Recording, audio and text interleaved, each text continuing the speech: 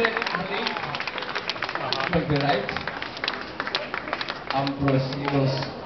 Onzin Dank u wel.